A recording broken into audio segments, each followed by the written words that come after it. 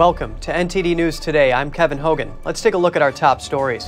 Turkey declares a three month state of emergency as another earthquake rocks the region. That's after Monday's twin earthquakes caused devastation.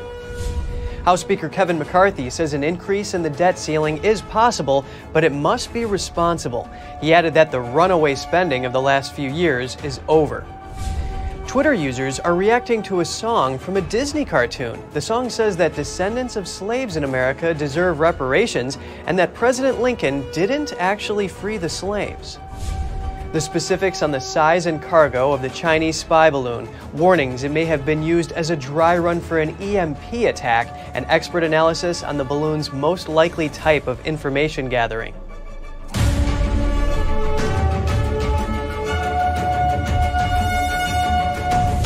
Turkey was hit by another 5 plus magnitude earthquake earlier today. That follows yesterday's massive twin quakes that collapsed entire buildings and led to over 5,000 deaths in Turkey and Syria. We have received offers of assistance from 70 different countries and 14 international organizations. We spoke with 18 heads of state and government who called us on the phone. I would like to thank all of our friends who called, sent messages, and released statements to convey their support and offer of help in this difficult day of our country. President Tayyip Erdogan declared a three month state of emergency covering Turkey's 10 southern provinces. He called the area a disaster zone and a move meant to bolster rescue efforts. Declaring a state of emergency permits the president and cabinet to bypass parliament to enact new laws and to limit or suspend rights and freedoms as they deem necessary. The state of emergency would end shortly before presidential and parliamentary elections. It could also be extended. The newest quake was recorded at around 1 p.m. local time in eastern Turkey. Its epicenter was 18 miles from one of yesterday's quakes. Erdogan said Turkey plans to open hotels in a tourism hub to house people impacted temporarily. The World Health Organization warns that the death toll could rise to around 20,000 in the coming days. Overwhelmed rescuers are struggling to save people trapped under the rubble as the death toll from the devastating earthquakes continues to climb. And just a warning, some viewers may find the following disturbing. As dawn broke over the Syrian city of Aleppo on Tuesday, a desperate search was on for survivors of a devastating earthquake. The magnitude 7.8 quake struck Turkey and Syria in the early hours of Monday, causing entire apartment blocks to crumble to dust and crushing families to death as they slept. The death toll is in the thousands and is expected to rise further as hundreds remain trapped.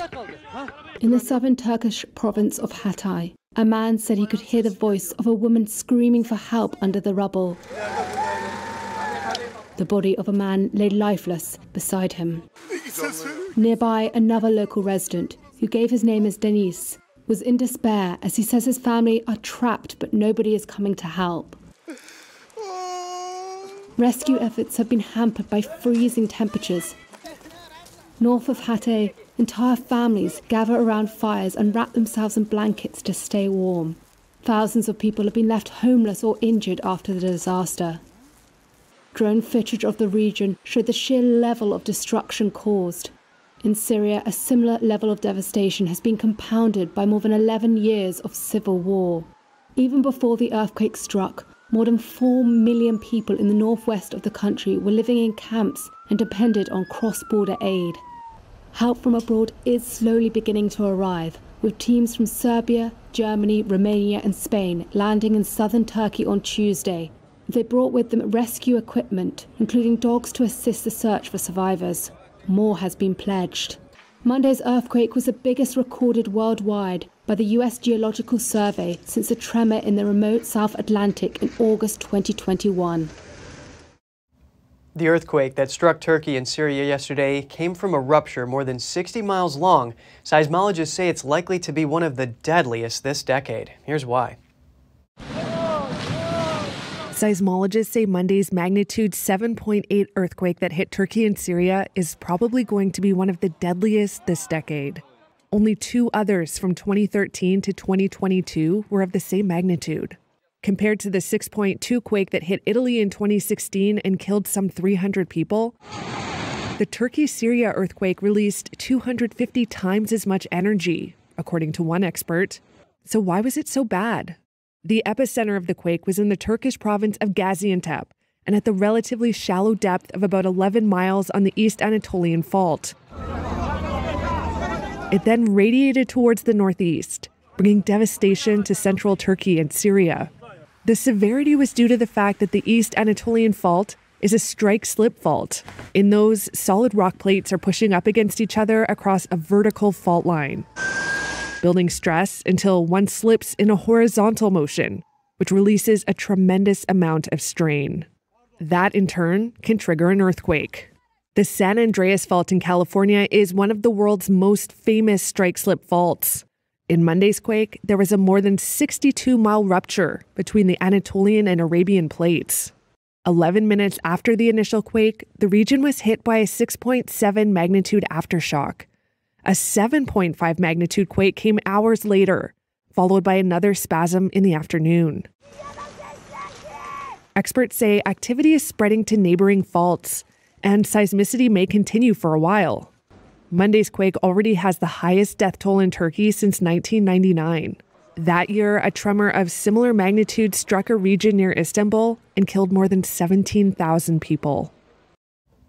House Speaker Kevin McCarthy is rallying public support for a responsible increase in the nation's debt ceiling. In an address to the nation yesterday, he also called for a cut in federal spending. NTD's Daniel Monahan has more.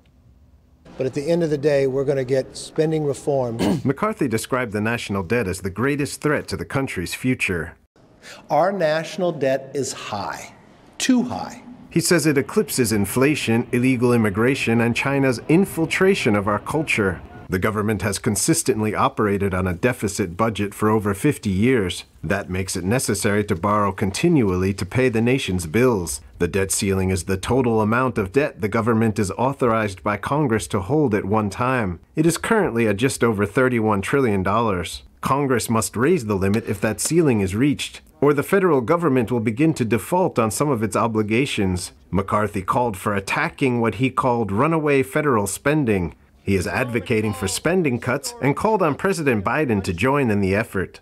A responsible debt limit increase that begins to eliminate wasteful Washington spending and puts us on a path towards a balanced budget is not only the right place to start, it's the only place to start. McCarthy assured Americans there would be no default on the nation's financial obligations and no threat to Social Security or Medicare. The United States would have reached the debt ceiling in January. Special measures taken by U.S. Treasury Secretary Janet Yellen postponed the default until June. The national debt has risen at a rapid rate since 1982. It has doubled approximately every seven years under the leadership of both parties. Meanwhile, Representative Kevin Hern has outlined the policies Republicans are discussing in connection with debt ceiling negotiations. Those include rollbacks on non essential spending, a cap on future spending, and paid for tax cuts. Paid for tax cuts are intended to have a neutral or positive effect on the budget. The theory is they will stimulate economic activity, thereby generating at least as much new tax revenue as was lost. Daniel Monahan, NTD News. President Biden will be giving the State of the Union address tonight. It will be his second since taking office. NTD's Jeremy Sandberg has more on what the president is likely to convey in his speech.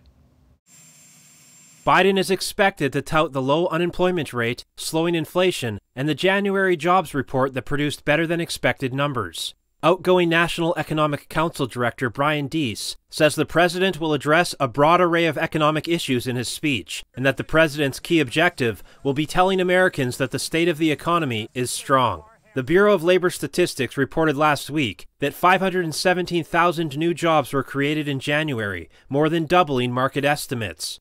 The U.S. recorded unemployment rate also fell to its lowest level in 53 years at 3.4 percent.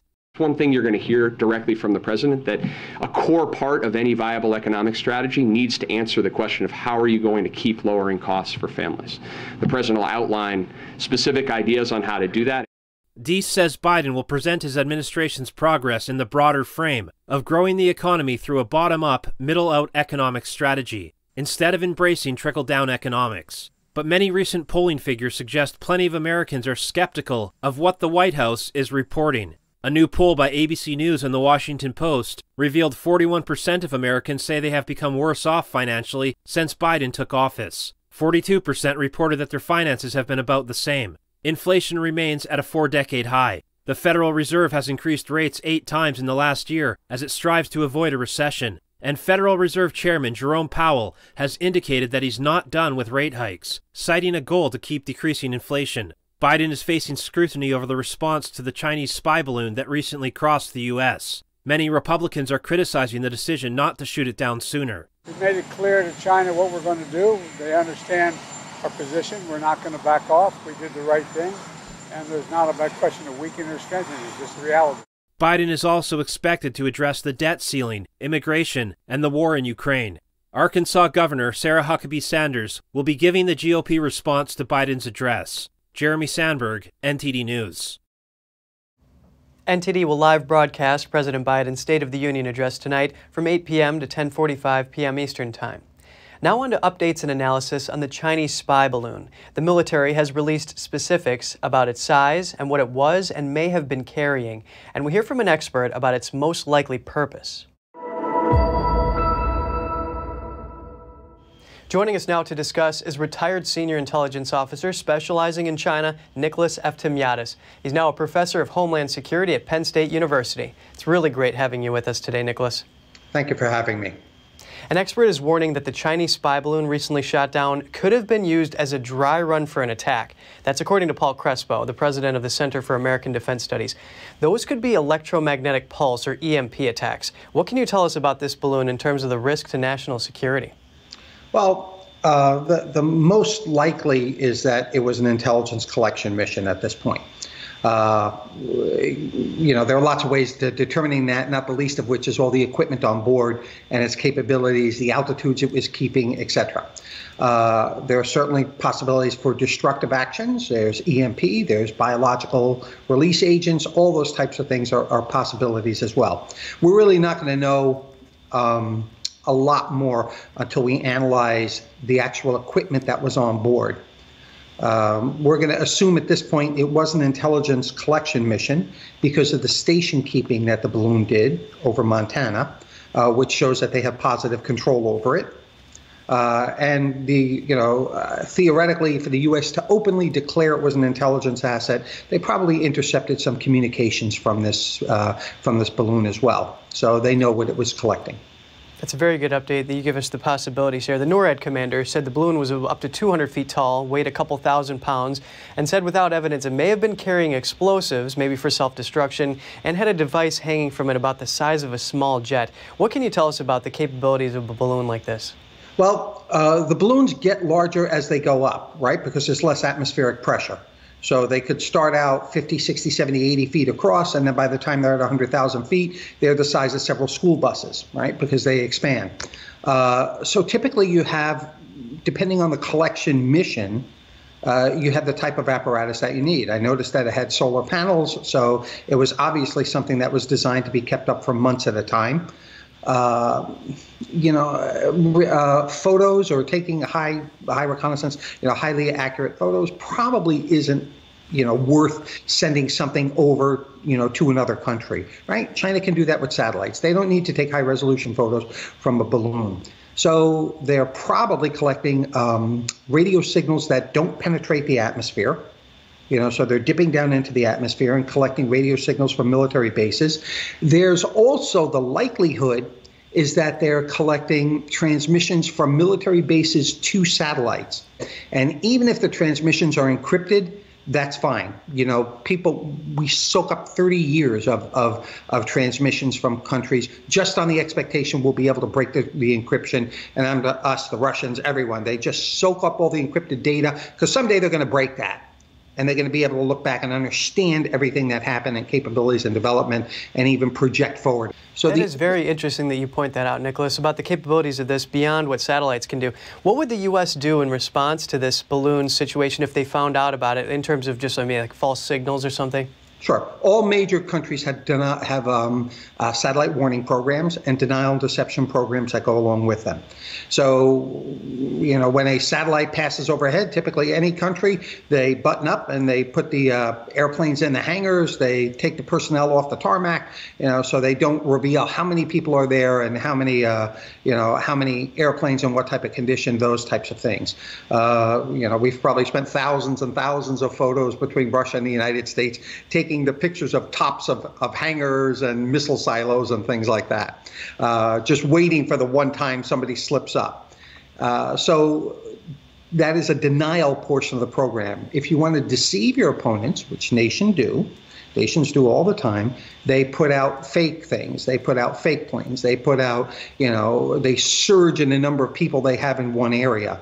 They build mock ups, as China does routinely when they do exercises, uh, you know, towards Taiwan. And they put mock ups of a, of a Taiwan air base or something like that. Now, they know satellites are looking at it but they do this to send a message that hey this could be for real now we're serious about it so it's called denial and deception, and it's done to manipulate your opponent into thinking in a direction that you want.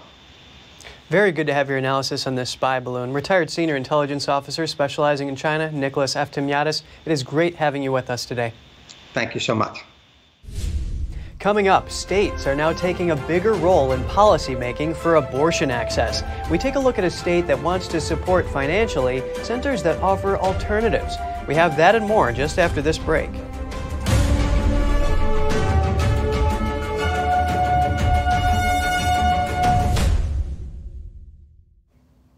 A scene from a children's cartoon is making waves online. The cartoon contains a song that some say spreads anti-white propaganda. Oh.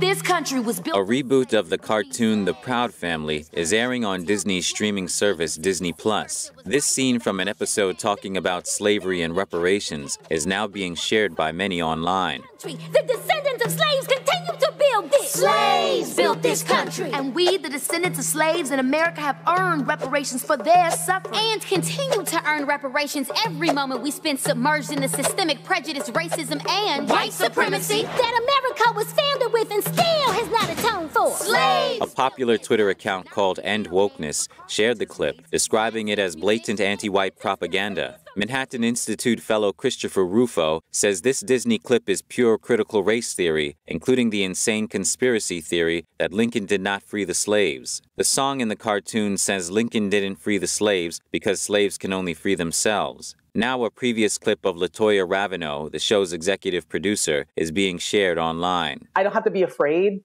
to like let's have these two characters kiss. Let's in the background. This like I was just wherever I could, just basically adding queerness to like the. If you see anything queer in the show, I'm proud family. But like I, I just was like, no one would stop me. in the clip, she says she has a not so secret gay agenda. There are also some who support the controversial clip. This user, who got thousands of views, posted the clip, saying, To celebrate Black History Month Day, let me share this awesome clip from Proud Family Louder and Prouder. Happy Black History Month. NTD reached out to Disney for comment, but didn't immediately hear back. Florida is set to dissolve Disney's special self governing status. Republican lawmakers have introduced a bill that would end it. It would also create a board to run the Disney district. The governor would appoint the board. The legislation would allow the state to tax Disney for possible road projects outside the district's boundaries. And it would ensure that Disney, not the taxpayers, pays $700 million in debt. Authorities say it would also prevent Disney from getting more land through eminent domain, and it would compel Disney to chip in for local infrastructure. The Florida legislature created the district in 1967. Disney reacted to the bill. They say they are watching its progress and called the bill complex, citing the long history of the Disney district. Last year's overturning of Roe v. Wade has led to many changes in abortion access. One such change is states taking control of policymaking. NTD's Daniel Monahan brings us more. Democrat controlled cities and states are funding efforts to provide access to abortion, while states led by Republicans are seeking new ways to support centers that provide alternatives. Our services are free, confidential, and professional. Kansas voters affirmed abortion access in an August 2022 vote. The state's Republican controlled legislature has now sprung into action. It is considering millions of dollars in state funds for centers that provide alternatives. Insight Women's Center is located in Lawrence, Kansas. Bridget Smith serves as its executive director. Regardless of the decision, we want them to know that they're not walking through this alone. According to their website, they are a faith based organization. Their stated aim is to empower women to confidently choose life for their baby. They offer free pregnancy testing and ultrasounds. Insight Women's Center has literally helped me all throughout uh, my whole pregnancy. They took my first sonogram here, um, and hearing that heartbeat is sort of just uh, melted our hearts into keeping him. They also provide counseling and help women who decide to keep their babies get ready for the big change. Not only are we educating them on parenting and life skills, um, even helping them with some of the heart healing and the trauma that the um, trauma healing that they need. The center sets women up with the same volunteer once a week to help build a relationship with them. They say the volunteers become emotional support that the women may not have in their life. The center also offers clients supplies in exchange for baby bucks they get for doing classes. If they come to the education mentoring classes, they could earn everything they need. Not what they want, maybe, but everything they need for the first year of the baby's life. So we try to help set them up so that realistically and practically they can raise that child. Supporters appreciate the effort to financially support the centers. They say it shows the pro life movement is taking concrete steps to meet women's needs, both social and financial. I would not change anything. Uh, I've always wanted a son, firstborn son. However, critics say the efforts fall short of what's necessary. Daniel Monahan, NTD News.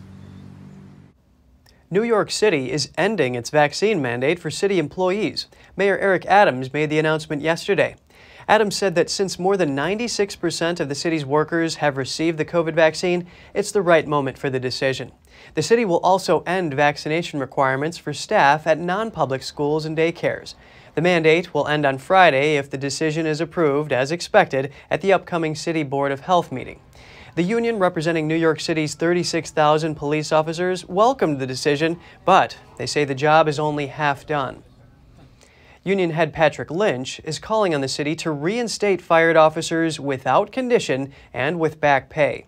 Mayor Adams said the city workers who were fired will not automatically get their jobs back. The nearly 1,800 teachers, firefighters, and police officers will have to reapply for their positions. Unions representing city workers are planning to sue the city for pay to compensate for time lost. Across the country in California, State Assemblyman Juan Alanis hopes to tackle the state's rising crime rate. He's proposed a bill to repeal a law seen as soft on crime. Proposition 47 was passed by voters in 2014. It raised the felony threshold for theft in retail stores from $400 to $950, limited jail time for misdemeanors to a maximum of six months, and reduced some drug related crimes from felonies to misdemeanors. The bill was part of an effort to alleviate prison crowding, but it has faced criticism for an increase in crime, particularly property theft, across the state's largest cities since it passed. The new bill would roll back most of the statutes of Proposition 47. Polls indicate that two thirds of California voters want to either repeal or substantially modify Proposition 47. Turning to a Coast Guard rescue, a crab boat sank Sunday near southwest Washington. Two crew members were rescued, but one is still missing. Night vision video from the U.S. Coast Guard captured rescuers hoisting two people from a life raft onto the helicopter. The operation started around 8 p.m. on Sunday. Weather remained rough during this time. The Seattle Times said the crab boat signaled its sinking at about 7.30 p.m. Search crews later found the wreckage of the vessel in nearby waters. Efforts to locate the third crew member continue by air and sea, as well as along the coastline. United Airlines has been hit with a proposed fine of more than a million dollars over a pre-flight safety check for its Boeing 777 planes that was not allegedly being performed. The Federal Aviation Administration says United did away with the fire system warning check that was a requirement, and that as a result, the planes flying from June 2018 to April 2021 were, quote, not in airworthy condition. United did not immediately respond to a request for comment. They have 30 days to respond to the FAA. An official familiar with the matter said the airplane dropped the check, the airline dropped the check when United consolidated its pre-flight safety check procedures for its 777s and 787s. The official said a 787 computer performs the check automatically. And still to come, a memorial event in New York City evoked memories of a whistleblower who first reported the COVID 19 pandemic in Wuhan three years ago. Participants said they refuse to forget. And a Chinese police station in downtown New York has been shut down. It was one of Beijing's vast network of outposts across the world. We'll have the details soon when we return.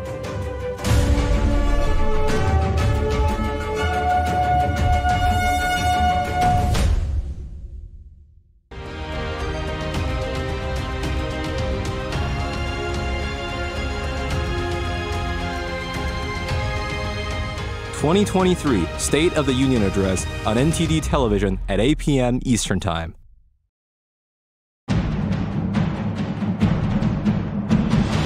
A performance that truly matters for each and every one of us.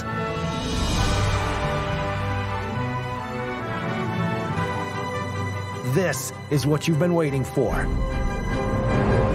See it at least once in your lifetime. Get tickets now at shenyun.com. The Fixture Pioneer, CGM. Professional AI intelligent fixtures. All-round integration of four systems. High precision, high durability, high quality. 2 micrometer repetition accuracy. More than 80 patent certificates. ISO 9001 approved. Precision clamping to meet your every need. CGM has it all. Pride of Taiwan, CGM.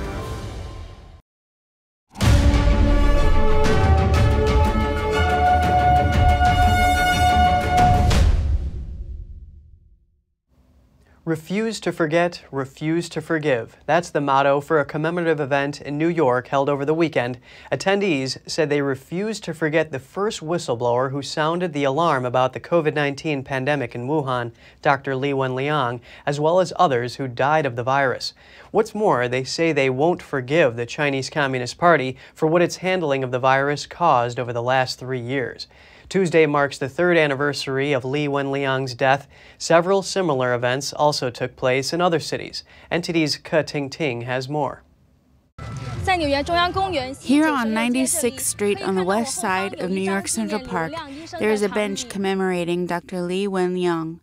On the third anniversary of his death, people can be seen coming here one after another to send flowers in mourning. A quote from Li Wenliang is engraved on the bench. A healthy society should not have only one voice. First, we want to express condolences to people who died of the virus. We won't forget them. Second, we'll never give up and never forgive the CCP's tyranny. Li Wenliang was one of the doctors who first sounded the alarm three years ago over the dangers of the CCP virus, which causes COVID 19. At that time, it was known only as an unknown pneumonia spreading in Wuhan.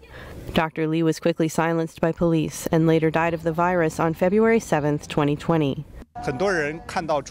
When many people see the disasters in Chinese history, they often didn't understand why such things could happen. But after experiencing the pandemic in the past three years, we can see that under the Chinese communist regime, all kinds of human tragedies are possible. In Los Angeles, around 50 people gathered outside the city's Chinese consulate to mourn Li Wenliang. A man attacked the event and was later arrested by police. Event participants say he's a Chinese student. Similar events have been held in San Francisco, Australia, New Zealand, Japan, Germany, and France. Beijing outposts around the world are doing police work on behalf of the Chinese regime. There are several locations here in the U.S., however, one of them has just been shut down. NTD's Tiffany Meyer has the story. The U.S. shutting down a Chinese police station in the heart of New York City. The State Department confirmed the news to the National Review. A staff member from the police station also verified the statement. We have halted our operations. The U.S. government told us we can't stay open. There are still two other stations open on American soil. One is in Los Angeles, the other in an unknown location. NTD reached out to the FBI and the State Department for more. The FBI declined to comment. The State Department said it had no further information to share at this time. Beijing operates a network of over 100 similar police outposts around the world. Chinese authorities say the offices help overseas Chinese with passport services, while human rights groups say they help Beijing harass and track down dissidents. Ireland and the Netherlands have ordered outposts in their territories to close. More than 10 countries have started investigations into the issue. First, harsh lockdowns, then a chaotic U turn. Beijing's COVID 19 strategies are making Chinese people reflect and take a step in a new direction. Crowds of Chinese Americans joined in a rally in Los Angeles last week. They are calling on people to sever ties with the Chinese Communist Party or CCP. The Chinese people have had enough. They are waking up. Many of them riled by the party's mishandling of the COVID 19 pandemic. While authorities claim the outbreak has ended, videos posted online tell a different story. Among the attendees, one said he knew China's communist authorities were downplaying the situation because his wife worked as a nurse in a Wuhan hospital. He urged people to draw a line in the sand with the CCP. For those of you in mainland China, if you realize the evil nature of the party, I suggest you do not join those CCP related organizations and do not let your children join them. I love China too, but I hate the Communist Party. Apart from a ruling party, the CCP has other affiliated organizations, including the Youth League and the Young Pioneers. They are state run groups that aim to teach Chinese children allegiance to the party. The Communist Party has caused so much suffering and disaster to the Chinese people that we should not forgive. So, whether we were or are members of the Young Pioneers, the Youth League, or the party, as long as we're in line with the values of normal human beings, we should refuse to be part of them. Other attendees urged people to take a closer look at the party's history. The Solomon Islands national government has removed a political hurdle standing in the way of closer ties with the Chinese Communist Party. Daniel Suidani, the premier of the most populous province in the Solomon Islands, was ousted from office. Around 17 assembly members voted for his removal. Suidani attempted to file an appeal in the High Court, but the assembly denied receiving any notice. Scuffles erupted outside the provincial assembly in protest. The Royal Solomon Islands police force fired tear gas into the crowd. In an earlier attempt to oust Suidani, locals physically blocked the entrance of the parliament. Suidani has been at odds with the national government since its decision to switch diplomatic ties from Taiwan to Beijing in 2019. And if you have any news tips or feedback for the show, don't hesitate to email us at news.today at ntd.com. And just ahead, what is driving up energy prices in Europe? Our reporter spoke to the former chief of a major gas company in France and a German village is turning down a government plan to house refugees nearby, citing security hazards. More shortly here on NTD News Today.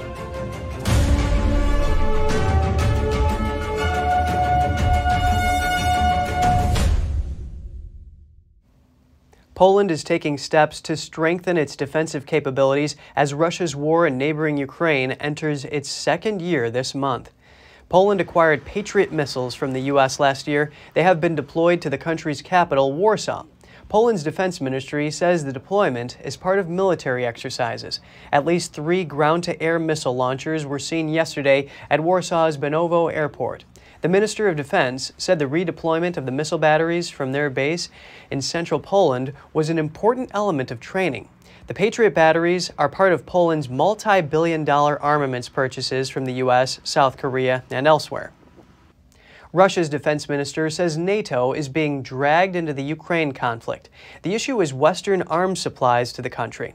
He warns this could lead to an unpredictable escalation. The defense minister accused the U.S. and allies of openly urging Ukraine to seize their territories. He was reportedly referring to four regions in eastern and southern Ukraine. Those are Donetsk, Luhansk, Zaporizhia, and Kherson. Russia claims it annexed them following referendums last September. Much of the territory in the Russian claimed regions remains in Ukrainian hands. Ukraine says the weapons, including tanks, are urgently needed. They want to repel Russian attacks. They also want to boost firepower for a spring offensive against Moscow's forces. Ukrainian officials say Moscow is planning a renewed assault in the coming weeks. A 200% import tariff on Russian made aluminum? That's what the United States is considering. The goal would be to ramp up pressure on Moscow over its war in Ukraine. No announcement about any tariff increases is expected this week. The U.S. has taxed Russian aluminum before when Moscow dumped the metal on the U.S. market below cost. The Biden administration also discussed restrictions on imports of Russian aluminum in October. That was in response to Moscow's military escalation in Ukraine. The White House declined to comment on potential new tariffs or other restrictions.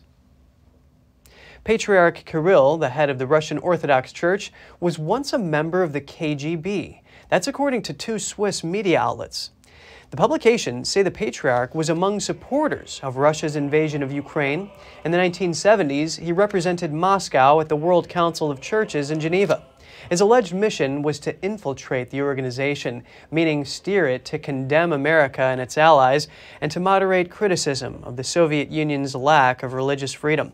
The patriarch's nephew and successor said his uncle, quote, was not an agent, even if he was subject to the KGB's strict control.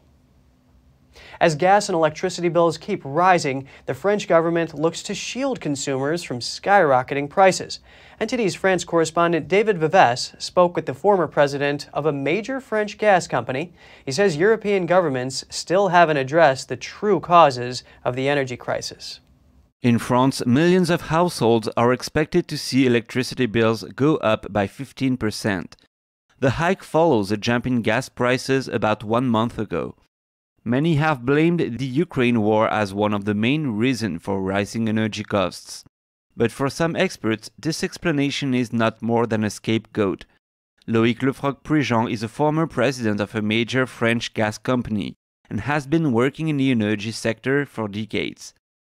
He says skyrocketing energy prices are mainly caused by speculation on the energy market, which he calls an artificial market. Gas prices in Europe went up before the war in Ukraine, three years ago already, so that American shale gas prices could make American shale gas profitable. That's what it was about. It had nothing to do with the war in Ukraine, as you can see. He also says many weren't aware of Germany's dependence on Russian gas, which has impacted gas prices on the European market. This lie led to all the others. The next lie was that Germany was self sufficient by using solar and wind power. This was not true. Its self sufficiency was powered by Russian gas. That was it. And so when you talk about wind power in Germany, you're actually talking about Russian gas. Gas is used to generate heat but also for electricity production, which explains how gas and electricity costs are linked. The situation is similar across Europe. Prices of electricity and gas vary from one country to another as each country's energy mix is different. Le Floch-Prigent says that when it comes to electricity, it's impossible for governments to implement price caps as a long-term measure to help consumers.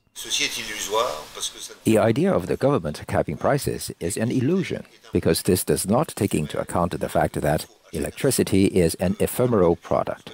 That means that production must be equivalent to consumption at all times and that it cannot be stored. The electricity market is completely artificial and has led to a situation in which there is a lack of electricity. In this market, there are suppliers who are neither producers, nor distributors, nor transporters, but are in fact parasites. And it's these parasites that engage in speculation on the futures market, which leads to an electricity market that is erratic. In other words, the rules on electricity market don't work in favor of consumers. Le Floch-Prigent says energy companies should aim for a fair and guaranteed price for energy, and this guaranteed price should guide investments in the energy market. To invest in electricity production, whether it's nuclear, gas, or coal, perhaps over a period of 10, 20, 40, or 50 years, you have to provide a guaranteed tariff for the consumer. But it's on this guaranteed tariff that we build the financing plan for investments. This is true for Hinkley Point today in England. It's true for investments in Finland and in California. And this guaranteed tariff is not insured when you have an artificial market. For some time now, no major electricity production infrastructures have been built. This leads to the situation today when it's hard to prevent shortages. So we are heading towards more shortages because there are no more investments. David Vives, NTD News, Paris. In a village in northern Germany, residents are protesting a government plan to house hundreds of asylum seekers in their neighborhood. A meeting at the Upahl town hall stirred up anger among residents of the northern German village. Officials plan to build a container village next to their homes for 400 refugees, mainly asylum seekers from Syria and Afghanistan. Too many nationalities are coming all at once. They're all sitting around, bored. Bus connections have to be set up, doctors. Everything has to be organized. How quickly can the police intervene if something happens, or the security company that works there? That's a bit worrying. One resident voiced her concerns about security. She said 150 of the 500 villagers are elderly, some of them women living alone. We have many kids, we have families, and most of the young people leave the village in the morning to go to work. So we are alone. Young mothers with their children, the elderly, we are alone. We won't feel safe leaving the house anymore. She added that young immigrants will have little to do due to the lack of facilities in the community. Then, of course, fears emerged. 500 young men in a village where there's no infrastructure. What do they want to spend their time doing there? Our young people have to leave the village here for sports or entertainment or whatever. We are a sleepy village. Fine, I chose this myself eight years ago. I wasn't born here. It's a nice village, a quiet village, a nice neighborhood, but no infrastructure. This meeting was the first time local residents learned about the resettlement plan. Many felt themselves victims of an unconsulted decision.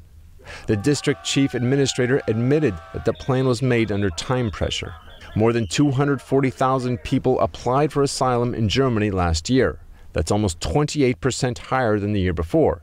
The number doesn't include refugees from Ukraine. Just ahead, Mexico ranks as one of the most dangerous countries for journalists. In the past year alone, 13 journalists have been killed on Mexican soil. And El Salvador is more than doubling its art incarceration capacity. Authorities are opening a new prison that can hold a whopping 40,000 people. Stay tuned for more on that when we return.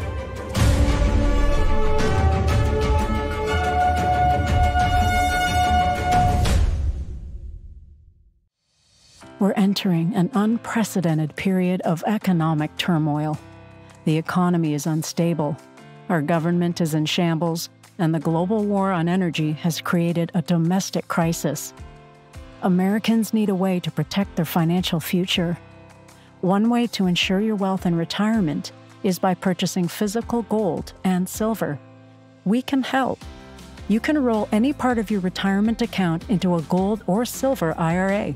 Better yet, you can open a gold or silver IRA in five minutes or less using our online application. Preserving your family's financial legacy is a choice that's always available to you. And when you're ready, we're here to help. Call us and speak to one of our IRA professionals. Let's build your financial legacy together. GSI Exchange, wealth for generations to come.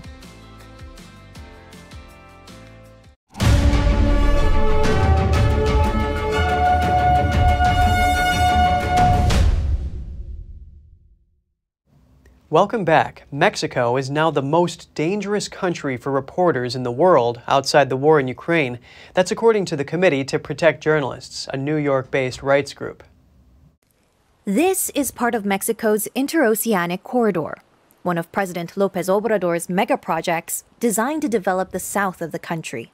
It includes work on a breakwater at Salina Cruz in Oaxaca. This coastal area has a reputation as a landing spot for precursor chemicals to make fentanyl and meth. It's also the backdrop to a news story about a local politician's alleged efforts to win re election and the shooting dead of the reporter who wrote it. Mourned by his family, Eber Lopez Vasquez is one of 13 journalists killed in Mexico in 2022, the deadliest year on record for the nation's newsrooms. He'd published a story on Facebook accusing local politician Arminda Espinosa Cartas of corruption. Her brother was one of the two men arrested, but no one was charged over Lopez's murder. Espinosa herself did not respond to Reuters' requests for comment. Since Lopez's death, fellow journalists say they are more afraid to publish stories delving into the Corridor Project or ones touching on drug trafficking and state collusion with organized crime. We'll keep on informing, but the most important thing is to stay alive. There are definitely issues you cannot address.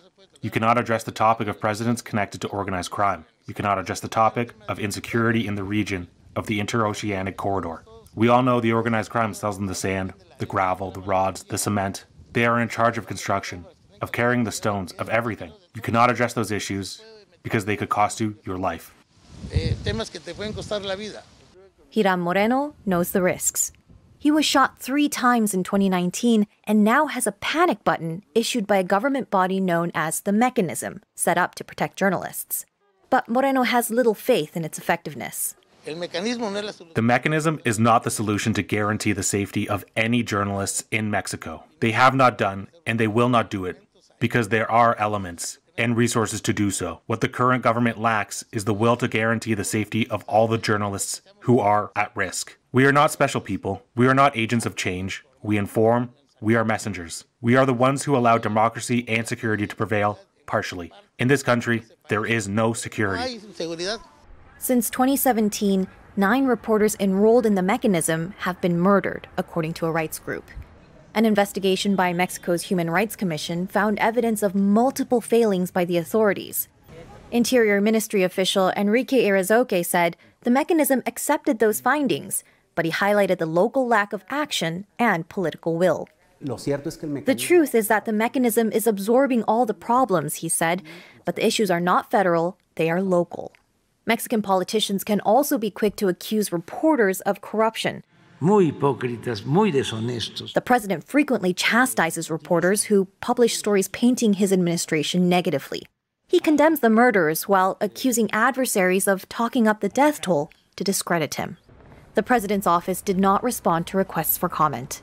Since the start of Mexico's drug war in 2006, upwards of 133 reporters like Eber Lopez Vasquez are estimated to have been killed that and the staggering 360,000 other homicides registered in that time is taking its toll on all Mexicans, according to Balbina Flores from Reporters Without Borders. Society pays the cost. There is a society that gets used to a situation of violence and to feeling more vulnerable. The people in those areas say that if that happens to a journalist who works for a news outlet and who works to inform, what could happen to citizens? Staying in Mexico, authorities are trying to maintain order in prisons. They are destroying various objects that inmates secretly smuggled in. We have done this with tons and tons of trash that were taken from inside the prison to bring order. It's how a prison should work. Today we are working on that, and things are flowing. Nevertheless, we've only been working on this for seven days. The objects range from TVs and heaters to statues of the Santa Muerte or Holy Death. Authorities destroyed the items, the seized items, with a roller. This happened at the Cerezo 3 prison in Ciudad Juarez, across the border from El Paso, Texas. Chihuahua's state security minister said objects and people were being sneaked into the prison through a small door. The door led to the prison's exterior and bypassed all security and inspection filters. It was not covered by any security cameras. Navy, state, and federal police have been deployed to the prison to maintain order. In early January, a riot, left the a riot at the prison left 14 dead. And speaking of prisons, authorities in El Salvador have opened one of Latin America's largest prisons. The country's prison population is soaring amid the government crackdown on criminal gangs. The Terrorism Confinement Center was inaugurated last week. It can hold 40,000 inmates, more than doubling the country's incarceration capacity. The facility is aimed to help relieve some of the overpopulation in the prison system. Since last March, El Salvador authorities have arrested more than 62,000 suspected gang members and their collaborators. Eh, Here we are going to guarantee that all these people who for decades have caused harm and murdered Salvadoran families will be in a place where they will not be able to leave. Every single cell has been built according to international standards. The entire prison has been built in compliance with international standards and guarantees security. El Salvador has the highest incarceration rate in the world. Nearly 2% of the nation's adult population is behind bars. Its largest prison currently holds 33,000 people, despite having a capacity of 10,000. El Salvador authorities said the new prison spans over 410 acres. 600 troops and 250 police officers will secure it. And coming up, from heartfelt sorrow to jubilance. That's how audience members of the Shen Yun describe the show. We'll see what the Nashville audience had to say after the break here on NTD News. And a huge martial arts ceremony in Thailand breaks the record for the largest ceremony of its type. We'll be back with more soon.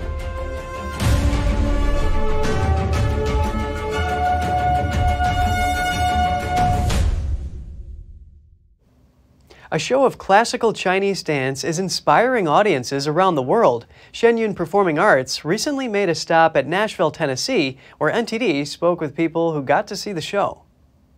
Shen Yun Performing Arts held three performances in Nashville, Tennessee in early February. Here's what the audience had to say. Oh, it has been amazing. It's uh, visually stunning. The athleticism of the dancers is truly impressive an amazing story, and the music that accompanies it is absolutely beautiful. I, I could not be more impressed. Oh my goodness, the performance is amazing. You know, I've actually wanted to see this for several years, but how they incorporate dance into just the, the storytelling. You know, nobody is standing around, right? Everybody is always making a move that's expressive, that expresses what's in their heart, in their mind, what they're going to do next. He added that the songs from Shen Yun's vocalists were inspiring. You know, uh, I was inspired indeed by the English uh, titles on the music that was sung. And then when you realize what you're singing about, the tradition, um, the um, uh, faith tradition of, hey, we are only here for a time. Earth is not our home forever. Uh, we didn't come from here, and we will, and we will leave here. And that is a, a very inspiring message that came through in, in the songs, and I appreciate that. Many appreciated the traditional Chinese culture that Shen Yun presents, as well as how it shines a light on modern day problems under the Chinese Communist Party. Well, the heartfelt of, of, the sorrow and some of the suppression of, of, of human dignity that's going on in China, but then the celebration of life and the jubilance of, of, of the seasons and the beauty of the country, and it's, it's very poignant. This is a performance that everyone should enjoy and learn from. There is there's so much richness in the performance and in the message. NTD News, Nashville, Tennessee. The Super Bowl is coming up as the Kansas City Chiefs and Philadelphia Eagles gear up for the game this Sunday. Here's what Eagles quarterback Jalen Hurts has to say about preparations. Regardless of everything that's going on externally, you want to go through your, your, your normal routine and your normal process. And, you know, I think every team, every year, that, that process changes. So I think for this team, um, I think for the habits that we've created, I think for the habits that I've created, being a, you know, starting quarterback for the Philadelphia Eagles. I'm just going out, going along with that process, keeping everything routine, and um, kind of being being present, being in the moment. For Chiefs quarterback Patrick Mahomes, the week leading up to the big game is familiar. He led the Chiefs to a 31 20 win over the San Francisco 49ers in Super Bowl 54. Yeah, I think the Super Bowl I won, uh, I just learned how special it is to have a team that really believes in each other and can, can overcome obstacles. I mean, we, we were down every single playoff game that year, and to be able to do that, it was special. And then the loss, you learn that you can't take things for granted. You can't you can't come to a game and not have every box checked. And I, I thought we did, but uh, we obviously we didn't, and we were, we were to lose that game, and you had to use it as motivation to get back to here. Mahomes added that he has tons of respect for the quarterbacks of previous eras who laid the foundation for him, and he hopes to inspire the next generation of players. After announcing his retirement again, Tom Brady now says he will launch his career in broadcasting in the fall of 2024. The seven time Super Bowl champion gave that update Monday while reiterating his NFL playing career is over. Colin Cowherd, host of FS1's The Herd, asked Brady if there was a quote 1% chance he would take back his retirement decision. The 45 year old Brady responded in part, quote, It is hard to make decisions like that, but it is certainly the right time. Many had expected the record breaking former Patriots and Buccaneers quarterback to get into broadcasting sooner. Brady explained that he wants to be fully committed when he starts as a Fox Sports NFL analyst, and that, quote, decompression is important. A meeting of 3,660 Muay Thai boxers performed a mass traditional Muay Thai ceremony in Thailand, beating the Guinness World Record for the largest pre fight dance ceremony. The ceremony is symbolic of showing respect to teachers, parents, and ancestors. A respected professional Thai martial arts champion led the boxers in the ritual. A Guinness World Records judge said the previous record for this title was 250 people, less than a tenth as many as those at this ceremony. Muay Thai is a competitive sport known as the art of eight limbs. Boxers are allowed to strike opponents with combinations of legs, knees, elbows, and fists. February 6th is also known as a Muay Thai Day in Thailand, held in honor of Thai king known as the Tiger King to mark his coronation in 1702. That's all for today's program. We're really glad to have you with us. Please send us an email if you'd like to tell us something. We're going to put it on screen. For podcasters, that's news.today at ntd.com. I'm Kevin Hogan, NTD News, New York City.